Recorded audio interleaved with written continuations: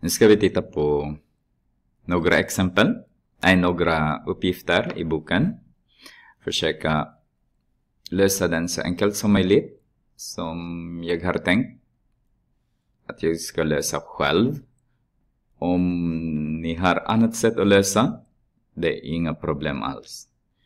Så log av 1000, 100 000 är exakt samma som log av 10 upphöjt till 1, 2, 3, 4, 5.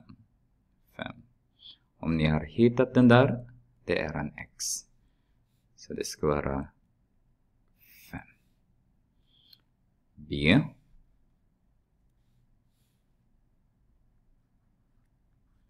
Log. Ja, jag kan väl använda växla mellan dessa. 1 är det samma sak som log 10 upphöjt till minus 2. Och jag sa jag växlar mellan de två. Eh, jag tänker på er bok, men jag är van med log, så förlåt. Så det måste vara negativ 2. Därför de tar varandra dessa. C.